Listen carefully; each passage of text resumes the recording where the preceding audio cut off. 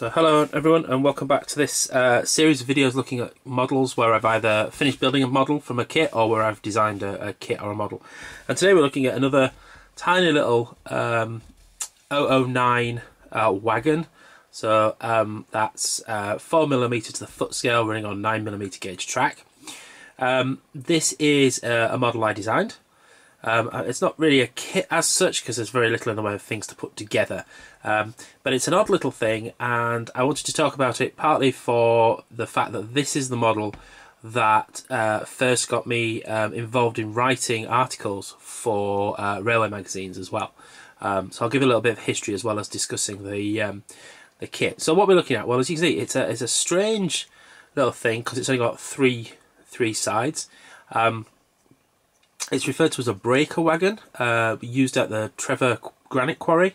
Uh, and the idea being that when the, the granite was kind of being uh, quarried out, it would probably be loaded kind of manually by hand, big chunks, into the wagons from the side, um, go down the railway, and then at some point the whole thing would be in a tippler.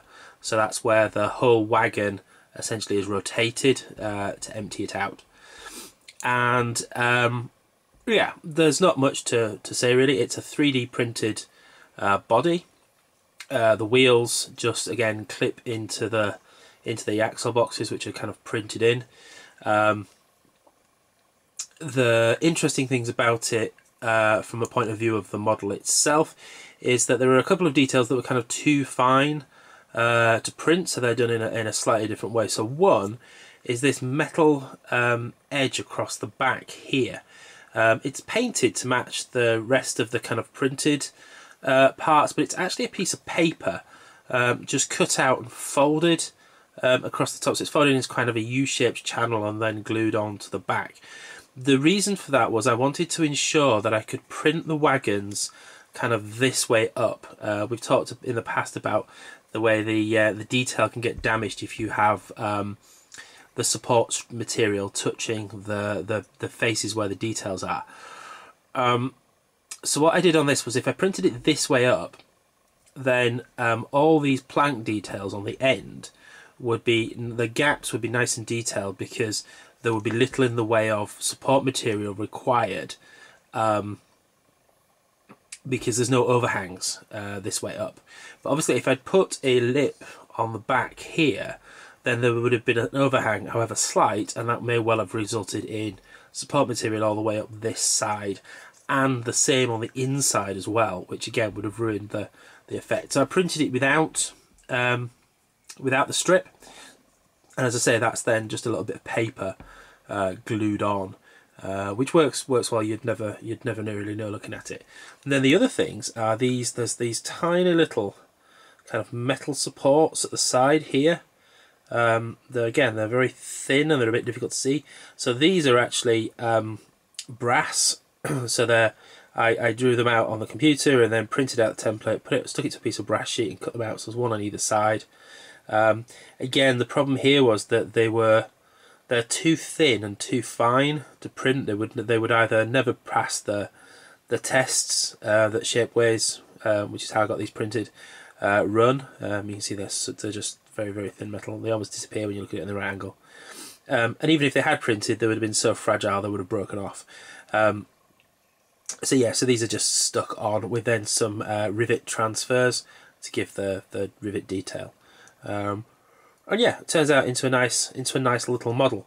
Now, um, I came across the drawings for this, um, and a fellow modeler, um, Ian Robinson, who um, fantastic modeler. Um, hasn't done much modelling in the last well, quite a few years now. I think he got to the point where he was doing it as um, as a job uh, and kind of got fed up with doing it as a job and, and, and, and not enjoying it for himself. So gave up. I believe he now gives um, tours of, of, of, Welsh quarries and mines and things.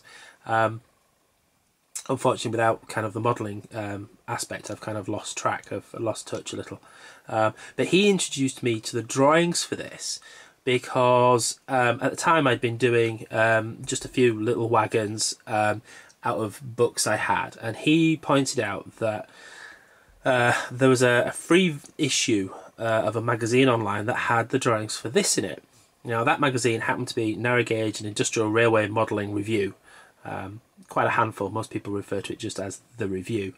Um, so yeah, so I downloaded the the free sample version that was available on the on the website at the time, um, and yeah, it was it, it was it was kind of a revelation. I'd I'd been used to seeing railway magazines that were kind of, you know, the reviews of the latest thing from Hornby or Bachmann or whatever, um, or descriptions of people's layouts, which were usually, you know, massive lifelong affairs that I had no way of, of replicating. Whereas the review was specifically looking at kind of narrow gauge um, and industrial uh, prototypes um, and was a mixture of articles discussing the, the real locos, wagons, um, railways, uh, um, and very um, high quality uh, modelling. Uh, and a lot of the the modelling was either of just individual items like this, or of layouts that were much more kind of uh, small and self-contained. Um, so they're more kind of um, not quite working dioramas because that suggests something really small, but layouts that you could kind of envisage having the space and size to build yourself. Um, and as I say, the, the, combination of all those things was kind of a revelation. Um, so not only um, did I find the drawings for this, but I subscribed um, and I went and collected eventually over a number of years all the back issues. Um, and yeah, the, the the modelling and the drawings and things are, are, are, superb. If you want if you want to lose yourself for weeks uh, in the in the archive, um, go have a look at some of the some of the issues. Buy a few issues. You can usually pick pick them up on eBay or, or the the website, which I'll put in the link in the description. Uh, sells back issues. Um, but having having built this wagon, um, and read through a few back issues, I realised that there'd been very little in the way of um, discussion of 3D printing as a means of modelling in the magazine. Uh, there've been a couple of there've been a couple of issues. Um, one um, looking at uh, 3D printing a SIPAT locomotive, I believe. Um, again, I'll try and I'll, if I can find the exact details, I'll, I'll, stick a link in the in the description. But um, but yeah, no, nothing that had been particularly talking about the process of how you might go about doing 3D modeling for yourself. So having having built this, what I did was I wrote an article, basically discussing the the approach I use to 3D modeling and how I how I work. So um, talking about how most of this, in fact, pretty much all of this wagon bearing the, the, the details added by hand, is built up from um, a couple of simple primitives, so um, sphere, um, cylinder, cube, um, and then just the way they're added together and the and, and, and sized in the 3D software um, gives this. Uh, and I wrote a, I wrote a nice article. I think it ran to about four pages in total, describing how I how I modelled this and, and, and talked about how I painted it. Um, and that was published in uh, in Gauge Industrial Railway Modelling Review, um, and went out really well. There was there was lots of nice comments about how it was um, you know a nice reasonable introduction to how people might go about doing the the three D printing themselves. I mean, this was well before. Um, well before lots of the kind of resin home 3D printers, and well before um, shapeways were flooded with, uh, with with with lots and lots of railway uh, railway models.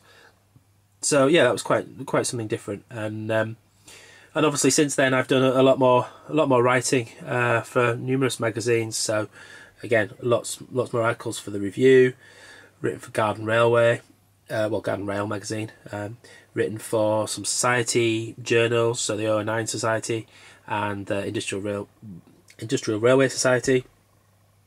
Um, yeah, and so uh, it was it was the start of a, a process, and, and you know looking back at this model, it still it still holds up. It's still um, it's still pretty good. I, I, I, still like it. It still it still works really well, and I don't think I'd change much. Obviously, now I probably I could possibly get away with three D printing this on my own printer, uh, and with the way that works, I could probably print this piece at least uh, without needing to do the paper aspect. Although these thin parts may still um, may still benefit from being uh, being brass.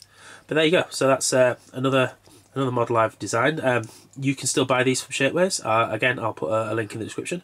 Um, I also produced a, a, PDF instruction sheet for kind of how to assemble it, which includes the templates for the brass and paper parts. Um, so if you want to go have a go at building one of these yourself, um, feel free to um, have a look on Shapeways. This is the this is the kind of thing you'll get. Uh, this is obviously a very old print that didn't get washed, um, so it's aged a bit yellow. It's a bit it's it's sticky with the wax still, uh, but you can see it's um, in comparison a bit difficult on the light.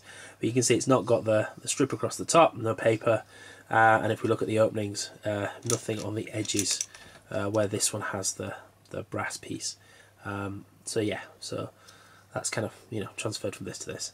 Um, but yeah, anyway, um, hope you've uh, enjoyed that. As I say, not a particularly um, complicated or, or, detailed model, but it was how I uh, I got my start writing uh, and talking about about models. So from that point of view, um, I thought it was worth sharing.